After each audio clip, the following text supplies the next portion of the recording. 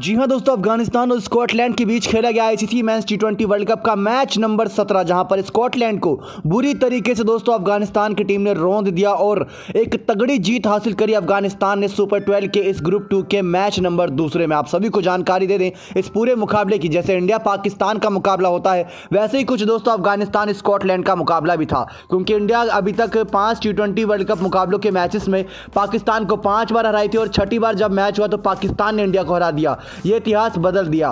वैसे ही कुछ हाल दोस्तों अफ़गानिस्तान, स्कॉटलैंड के बीच भी देखने को मिलता है कि अभी तक छह टी ट्वेंटी इस मैच में आमने सामने थी और छह बार अफ़गानिस्तान जीती। सात ही बार मौका था स्कॉटलैंड के पास कि अफ़गानिस्तान से अपनी हार का बदला ले सके, लेकिन ऐसा कुछ भी नहीं हुआ।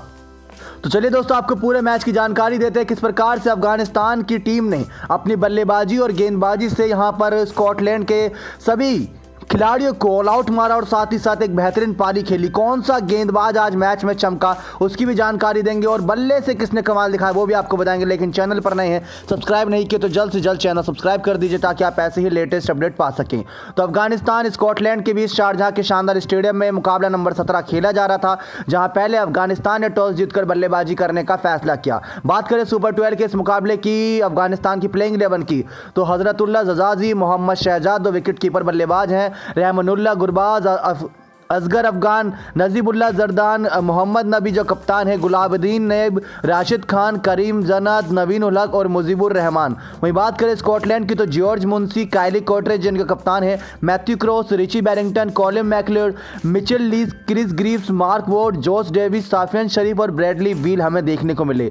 आप बात करें दोस्तों स्कॉटलैंड की टीम की तो स्कॉटलैंड की टीम यहाँ पर पहुँची है तो बड़ी इज़्ज़त के साथ पहुँची है। तीनों मैच इन्होंने अपने क्वालिफाइंग ग्रुप में जीते थे। मतलब उस तरफ़ श्रीलंका ने अपने तीनों मैच जीते थे। इस तरफ़ दोस्तों यहाँ पर इन्होंने जीते थे। तो मतलब इनके पास एक तगड़ा मौका था कि जिस प्रकार की फॉर्म में थे ये सभी बल्लेबाजों और गेंदबाजों के दम पर बाकी टीमों को रोन सकते थे। उन्होंने ओमान, पापुआ निगिनी और नीदरलैंड जैसी टीमों को मात दी थी। लेकिन यहाँ पर जब इनके सामने अफ़गानिस्तान आई तो इनके रोंगटे खड़े हो गए और रोंगटे खड़े कर देने वाला भी मुकाबला था।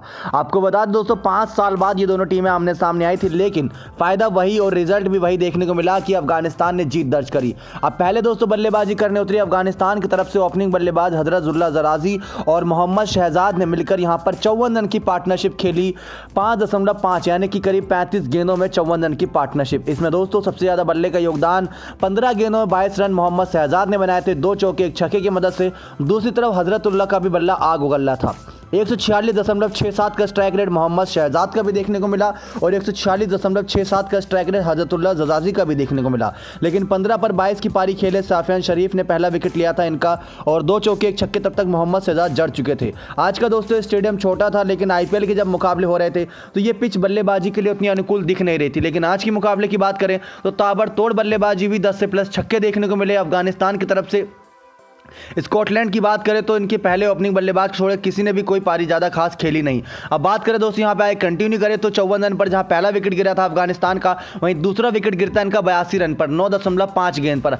हजरतुल्ला जजाजी यहाँ पर एक चौवालीस रन की पारी तीस गेंदों में खेलकर होते हैं आउट तीन चौके, तीन छक्के इनकी इस पारी में एक का होता है strike rate Mark Watt direct इनको बोल्ड मारते हैं आउट और हजरतुल्ला जजाजी का ये पारी होता है यहीं पर खत्म। उसके बाद दोस्तों, दूसरे छोर से गुरबाज और नजीबुल्ला के बीच एक मतलब ताबड़ तोड़ पार्टनरशिप होती है। एक पार्टनरशिप वो होती है जहाँ से एक खिलाड़ी रन बनाता है, दूसरा खिलाड़ी छोर पकड़ के खड़ा रहता है। लेकिन इन दोनों ने ही रन बटोरे और दोनों ने ही चौके छक्के मतलब पूरा मेला लूट लिया। बात करें गुरबाज की पारी की तो इन्होंने दिल जीत लिया। सैंतीस गेंदों में छियालीस रन इन्होंने बनाए, एक चौका और चार छक्के लगाए। ऐसा कमाल तो कैरिबियन खिलाड़ी करते कि चौके कम, छक्के ज़्यादा लगाते हैं। लेकिन आज गुरबाज ने चार छक्के लगाए, मैदान का पूरा इस्तेमाल करा।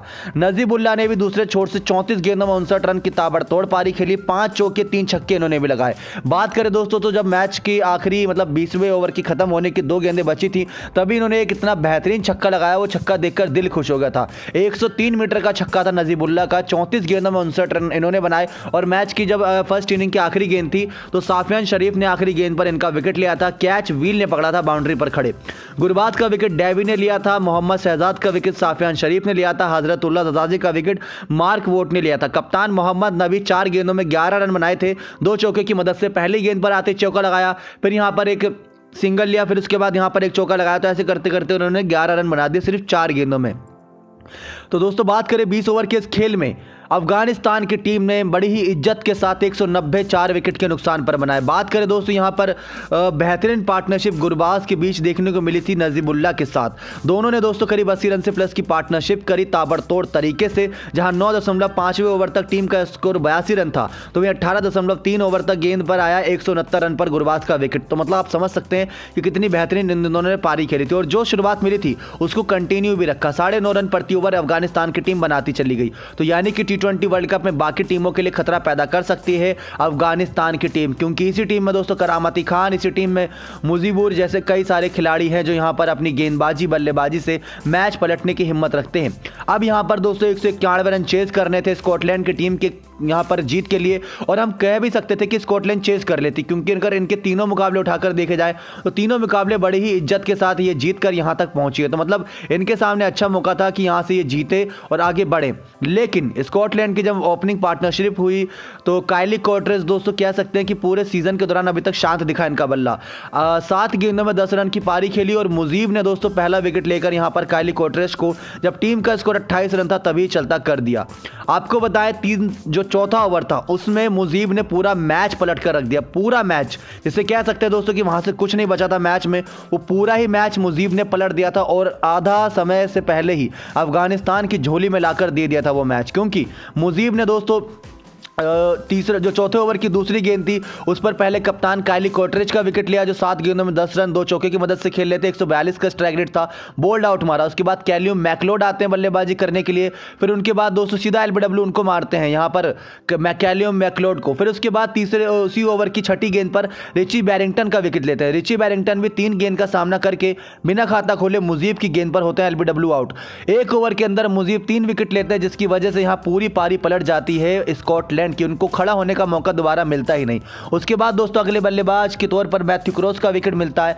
मैथ्यू क्रोज भी दोस्तों, पहली ही गेंद पर अगले ओवर की नवीन उल हक पर आउट हो जाते हैं। तो वो वहाँ से एक टर्निंग पॉइंट था, क्योंकि चार विकेट तीस रन के अंदर आ गए। जहाँ पहला विकेट अट्ठाईस रन पर आया था तो अट्ठाईस रन पर ही तीन विकेट गिर गए, फिर तीस रन पर चौथा विकेट आया। उसके बाद छठे ओवर की तीसरी गेंद, जब टीम का स्कोर छत्तीस रन था तो जॉर्ज मुंशी दोस्तों, जो ओपनिंग कर रहे थे, वो अट्ठारह गेंदों में पच्चीस रन, दो चौके, दो छक्के की मदद से खेल रहे थे। एक तो दिक्कत वाली बात ये थी कि एक सौ इक्यानवे चेस करने प्लस यहाँ पर इनको अपनी विकेट भी बचानी थी तो जॉर्ज मुंशी के सामने कोई ऑप्शन बचा नहीं था। मुजीब अपना अगला ओवर लेकर आए और चौथा विकेट जॉर्ज मुंशी के रूप में हासिल कर लिया। उसी ओवर के बाद दोस्तों, अगले ओवर में फिर से, यानी कि जो सातवां ओवर था, उसमें एक और विकेट आता है। सातवें ओवर में दोस्तों, यहाँ विकेट मिचल लीस्क का होता है और इस बार होते हैं करामाती खान, राशिद खान, जो पाँच गेंद खेल रहे हैं। मिचल लीस्क का बिना खाता खोले चलता कर देते हैं। क्रिस ग्रीफ दूसरे छोर से दोस्तों, बारह गेंदों में बारह रन बनाकर खड़े रहते हैं, वो दूसरे छोर से, लेकिन मार्क वॉट का विकेट फिर अगले ओवर में दोस्तों मुजीब ले लेते हैं और मुजीब ऐसे करते करते आज पाँच विकेट यानी कि पाँच का पंजा खोल लेते हैं ICC match T twenty world cup के शायद पहले ही खिलाड़ी गेंदबाज हैं, जिन्होंने पाँच विकेट लिए मतलब मुजीब की गेंदबाजी देखकर दिल खुश हो गया। पाँच विकेट दोस्तों उन्होंने आज के मुकाबले में चार ओवर के अंदर। उसके बाद जॉर्ज डेवी बल्लेबाजी कर रहे होते हैं, सात गेंदों में चार रन बनाकर।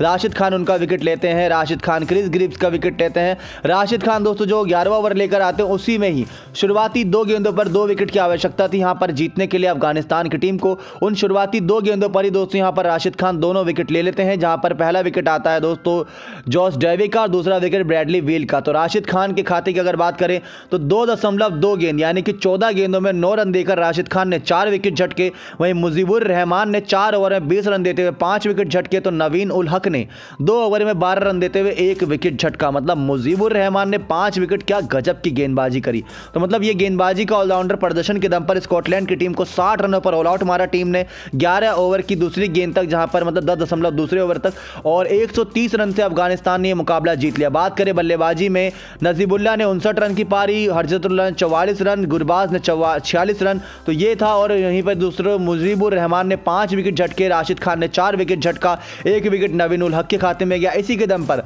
बात करें पॉइंट्स टेबल के ICC match T twenty world cup twenty की पॉइंट्स टेबल की।